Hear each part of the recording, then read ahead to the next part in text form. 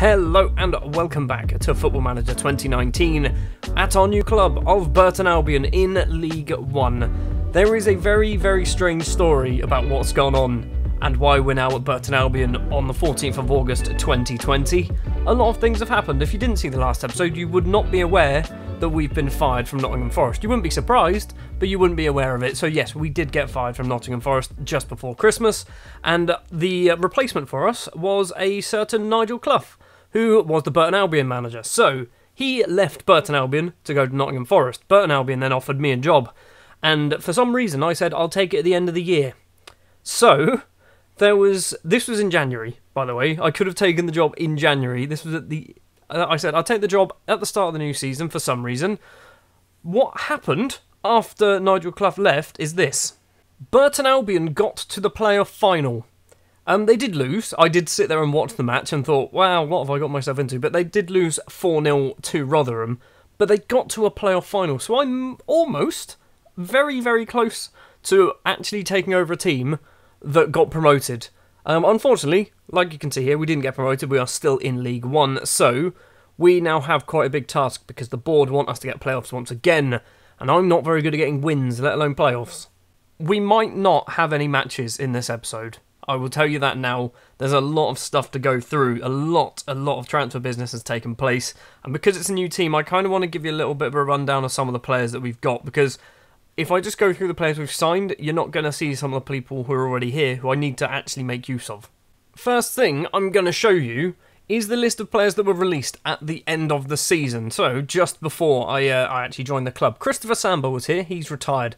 A guy called Marcus Harness, Marcus Dinanga, uh, Jack Broomfield, or Jack Bromfield, sorry, and David Templeton have all left the club. We we were decimated at the end of the season. A lot of our players left. Also, a number of first team players left. Some for some reasonable sums of money. Two players have left the club on loan. Jake Buxton is the first one. He's gone on loan to Northampton. He's getting paid too much money, so Northampton are paying all of that. He's 35 years old. He was never actually going to play for us. Another player out on loan is 24 year old left back Joe Maguire. He's gone to Blackpool. Again, another player who I wasn't actually going to use until I realised all my left backs were injured. That's a completely different story. Another player to leave is Stephen Quinn, former Reading, mid- Reading and Hull midfielder and Northern Northern Republic of Ireland international, has signed for Derry City for about forty thousand pounds.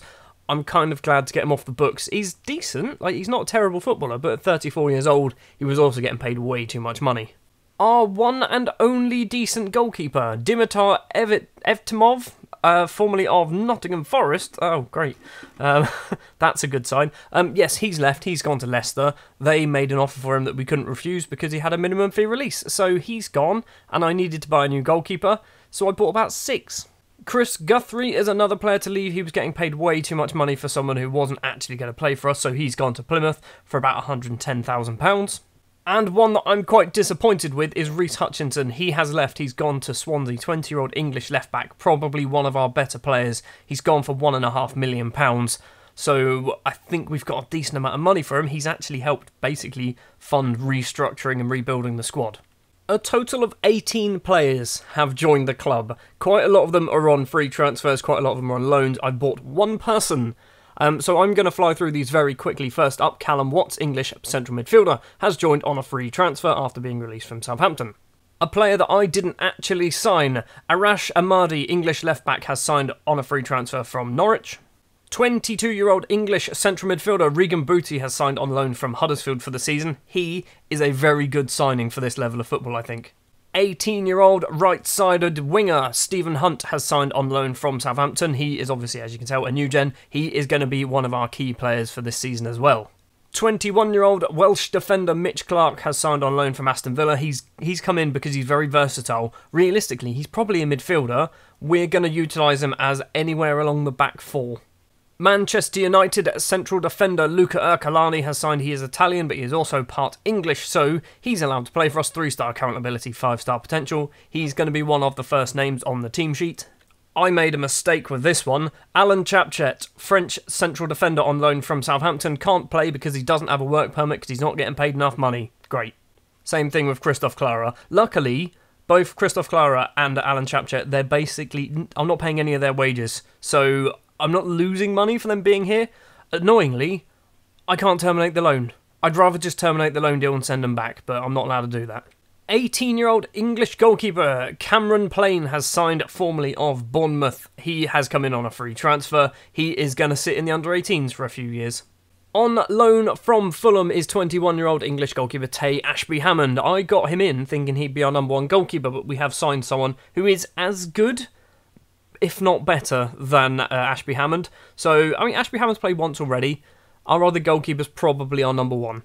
18 year old Scottish central defender signed from Tottenham is Lewis Binks. Free transfer. He is actually not terrible. He'll probably get a lot more games like later on in the save, I think. Probably the first season, assuming I stay longer than a season, might be a might be a bit of a struggle for him.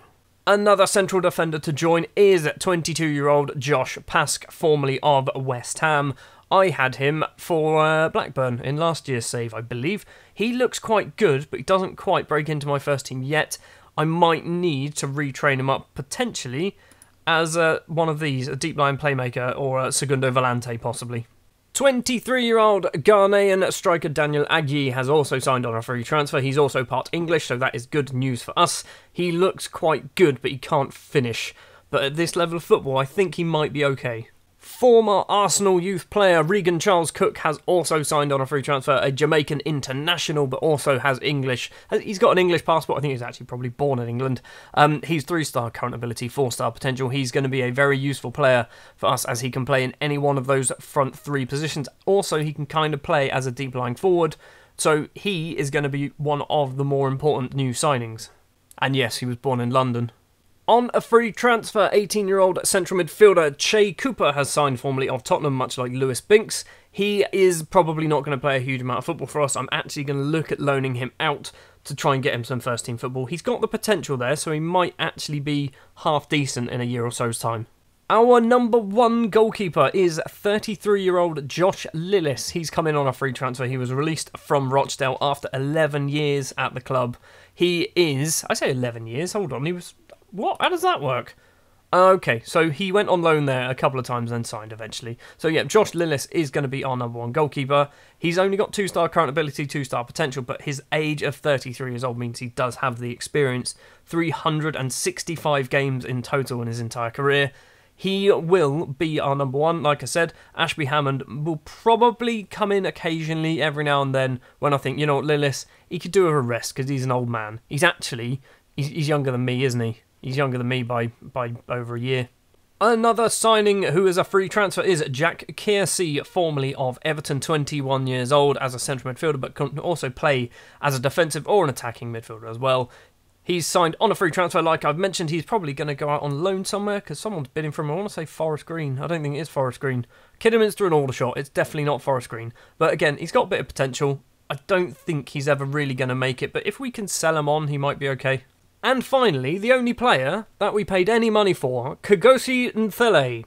Maybe, I have no idea. You're definitely going to have to change your name. He's got one cap for South Africa back in 2013. We spent £37,000 on this man from Rochdale, formerly of Peterborough, played a little bit for Stevenage as well. He's only got two star current ability, but I mean, he's he's a natural attacking fullback, which is one of the things I was looking for like I said earlier, I didn't have any left backs anyway, so he's come in. He's probably going to play more football than he actually deserves, but I've also paid £37,000 for him, so I feel like I need to probably justify that. So that is all the transfer business so far. The window has closed because we are in August. Um, there is a couple more transfers that are going to go through, and it is going to be these two. I say they're going to go through. I hope they're going to go through. First up, 31 year old English winger Lucas Akins. He's on £5,500 a week. Is hopefully going to be off to Aberdeen. He is one of our better players, but getting paid that much money is way too much money for me. He's come off the bench a couple of times, started in the Carabao Cup as well. He's been here for a very long time, so I suspect people might get annoyed if I sell him.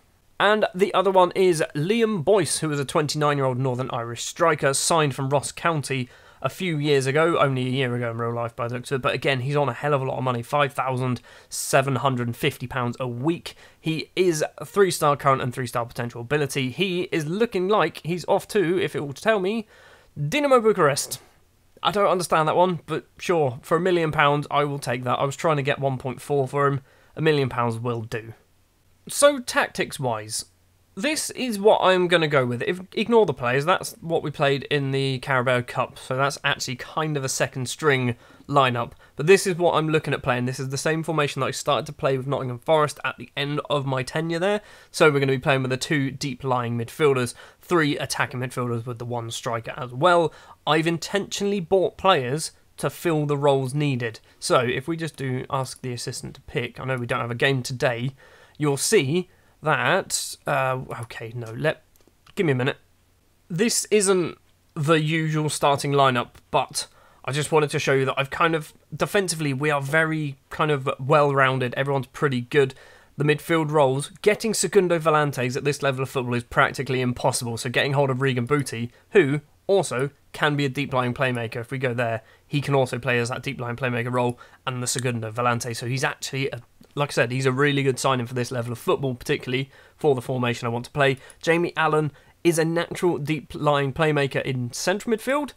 As you go further back, not so great, but hopefully he can learn it. He's still only 25. Stephen Hunt, the youngster on loan from Southampton, can fill in as an inside forward on the right hand side. Regan Charles Cook, he's kind of inside forward on the left, maybe the attacking midfielder in the middle. Joe Sabara, I've been, I'm not sure whether I should play him as this advanced midfielder here or as a deep lying forward. I've played him as a deep lying forward once. You can see he scored three goals this season. They might have all been in one game. So Joe Sabara or Sabara, not sure. Um, he's quite good. I like him. But we do also have a lot of options, as you can see here. Our first team is pretty stacked. Um, there's a lot of defenders on here. Um, we've also got some, like like I said, let's if we just do that, let's stick in Ntlhe, he's also pretty good there. Ercolani, let's take Ercolani out and put Lewis Binks in. Lewis Binks, he's pretty good as well. So I think we've got a decent amount of depth in the team some of the more important players that I should probably bring your attention to who haven't actually just joined the club. Carl McFadzean is a 33 year old central defender. He, yes, he's getting on a bit, but he's still one of our best players. Really good. Been here for quite a while as well, since 2016. So he, like, he's getting paid probably too much money for a 32 year old, or 33 year old, sorry, but he's still pretty good. He thinks we're lacking depth in midfield, which he's probably right. Tom Aldred is another player. He's actually signed from Motherwell in the game by the looks of it. He's 29 years old, Scottish central defender, three star current and three star potential ability. Decent looking player. So far has yet to play for me because Luca Ercolani and McFadzean have been our two central defenders. A player who's probably going to be our first choice left back is Damien McCrory. He, un- unfortunately, hasn't actually played a game for us yet due to being injured when I joined the club. He's still injured for another 10 days, but he is a 2.5 star current and 2.5 star potential ability. 30 year old Irish footballer, no international caps, unfortunately, seems reasonably well rounded much like John Brayford, who's a 32 year old English right back. He's three star current and three star potential ability. Formerly, I want to say from MK Dons, I don't think he is, it's Derby. Derby's where he spent the majority of his career, um, and also previously at Burton. There you go, didn't know that. Uh, John Brayford, very good, very useful, got an assist to his name already so far this season, and scored a goal in the Carabao Cup. The final player that I'm going to show you is Marvin Sordell, the 29 year old English striker with 14 caps and four goals for the England under 21 side. He's a relegation specialist, been relegated with Bolton, Burnley, Colchester, and Burton Albion. So let's hope he doesn't keep that run going. Never been promoted. Let's see if we can change that. Three star current, three star potential ability. Probably going to be our number one or number two striker, depending on what uh, whether I go with Sabara up front or as that attacker midfielder. So that is the team. Yes, there are some other players that I haven't actually shown you. Hold on, Ben Fox. He seems quite good. Why have I not played Ben Fox? Because he doesn't really fit my system. Right, Benjamin Fox, are you... Can you be retrained? Okay, you are being retrained as that deep line playmaker. That's fine. So yeah, Ben Fox seems quite good as well. Um, we do have, if we go to under 18s, I know this is going to be quite a long, rambly episode. Um, we've got Binks, who's I've dropped into the under 18s. Kuba, Tom Hewlett. Is he one of ours? He is one of ours. He's got a lot of potential as well. He might actually get pushed up into the first team soon. So we do have some youth prospects as well. Uh, this guy, Fidel O'Rourke, is going to be signing. Remy Savage and Will Greenidge will also be signing, hopefully, in the coming days. Let's have a look at finances, shall we? We're over our wage budget and we've got no transfer budget. But with um, Akins and the other guy, Bayern, Boyce, Bayern, Boyce, one of them, the, the, the striker, where is he? Boyce, that's the one. With those two players leaving, that is hopefully going to fix our finances a little bit more. So now we've kind of had the whole introduction out of the way. I did play a number of games. I've actually played four games, three in the league, one in the Carabao Cup. And as you can see, after the three league games, we are currently sat second place in the table. And that's because we've done very well. We opened our season up against Swindon Town at the Pirelli Stadium. We won 1 0, Keshi Anderson with an own goal. However, we were much, much better. 21 shots, 10 shots on target, could not convert it. Sbarra, who was our striker in that on that day, gets a 6.3 up front. Hopefully, he starts to get a little bit more clinical, and you'll see that he did. Because against Luton Town, we won 5 3, and Joe Sbarra gets himself a hat trick. Jamie Allen also scores a goal. Regan Booty scores a goal. Three minutes after he scored a goal for Luton Town, Jack Stacey and Danny Hylton pull two goals back for Luton. They did make it 4 3 at one point, which got me a little bit panicky. Um, it was a very good performance. Defensively, not the best. Uh, Mitch Clark, who was playing as a left back, who's not a left back, basically took the fault for the majority of their goals. Our first dropped points of the season were up against Southend. It was a nil-nil draw. Stephen Hunt going off injured in the first half is the only real bit of action to talk about. We were the better side, 13 shots to their 6. Unfortunately, couldn't seem to score a goal.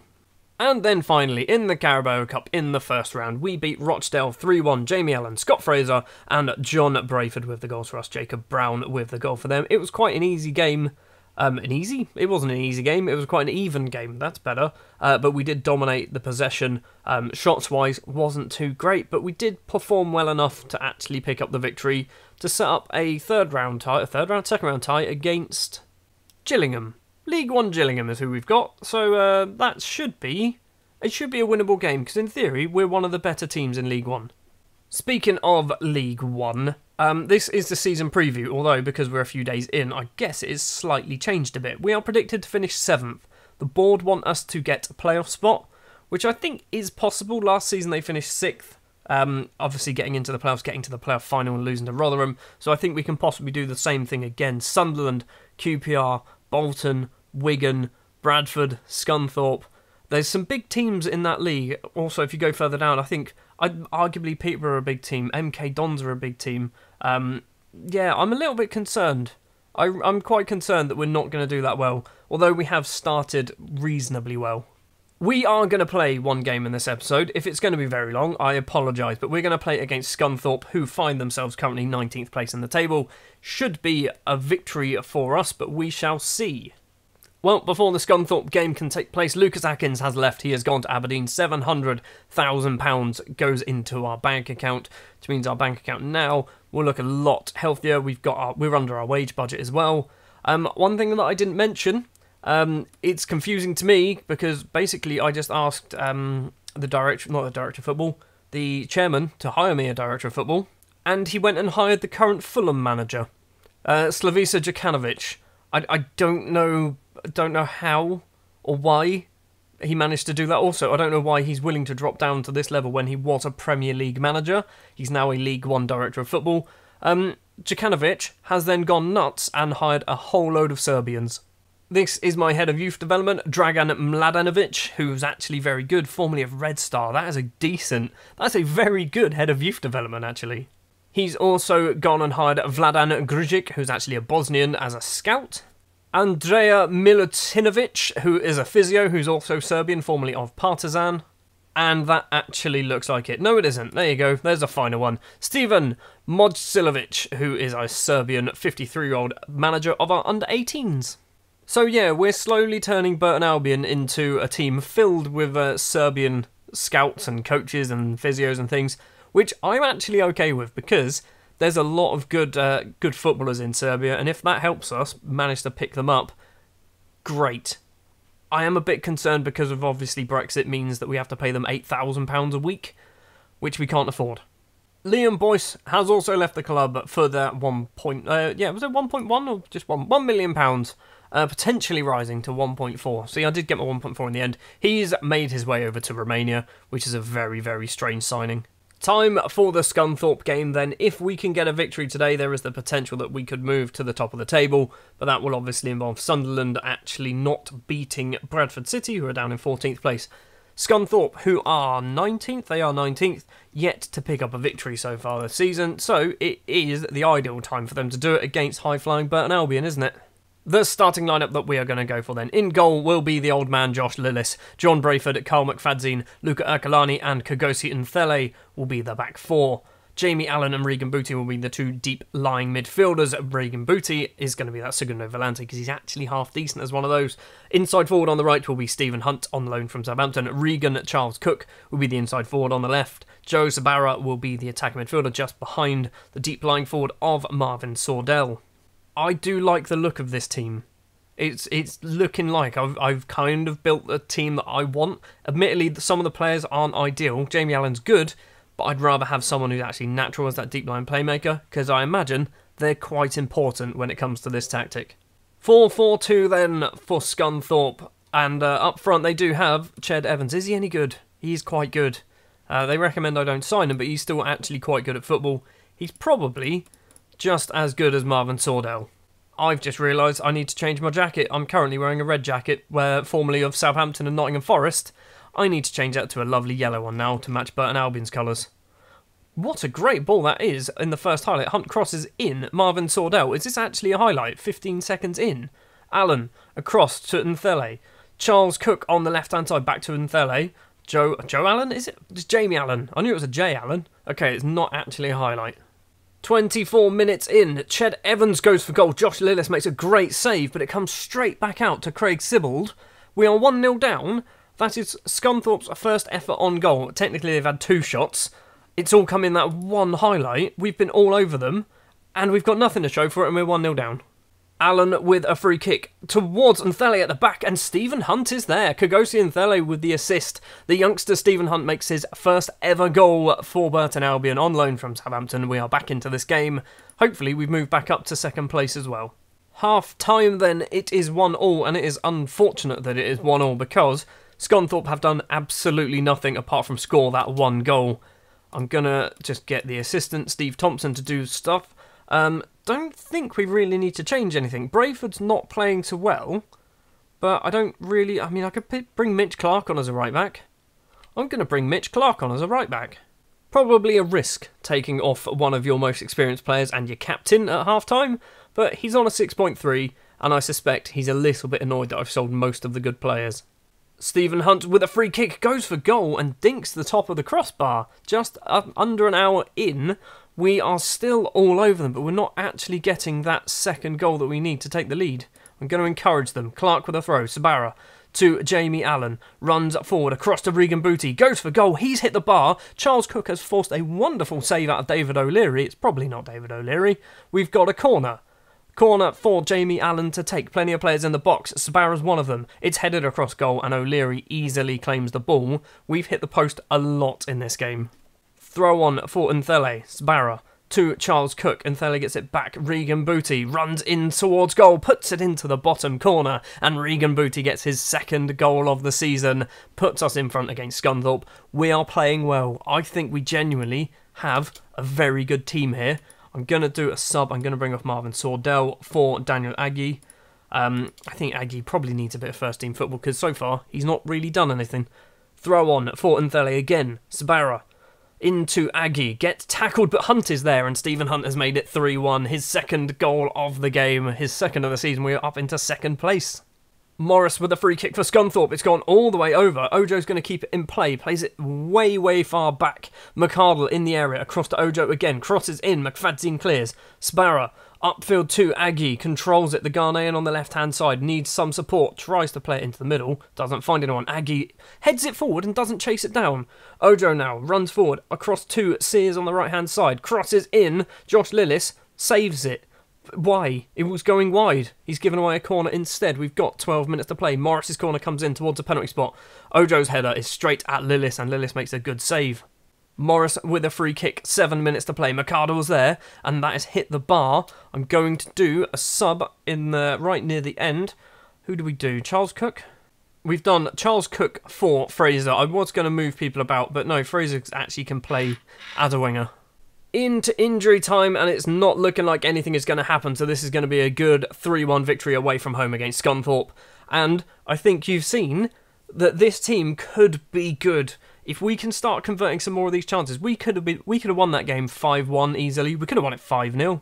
Assistant manager's done a decent team talk. Look at some of these numbers. Look at Regan Booty and uh, Jamie Allen, 8.3 and an 8.8, an 8.6 from Kgosi Ntlhe as well, a 7.2 from Josh Lillis in goal. I think that was a very good performance. That performance then has meant that we do stay in second place, hot on the heels of Sunderland, who are top of the table. Fleetwood in third, joint on points with us, but with two goals less. So far, so good. We've started very well as Burton Albion. Hopefully, we can keep this going that is going to do it then for this episode. Sorry if it was very rambly and very talky. We did get a game in there. We did win 3 1. So, I think, all in all, it's been a very successful first episode as manager of Burton Albion. Next episode, we are going to go to maybe Oldham and Bristol Rovers with a Bolton uh, Checkatrade Trophy sandwich in the middle. That might be where we're going to go. I don't really care too much about the Checkatrade Trophy. Um, or maybe I do. I don't know. Thank you very much for watching this episode. If you did enjoy, if you wouldn't mind leaving a like, if you want to see more, hit the subscribe button. And I will see you tomorrow for part two of our journey with Burton Albion.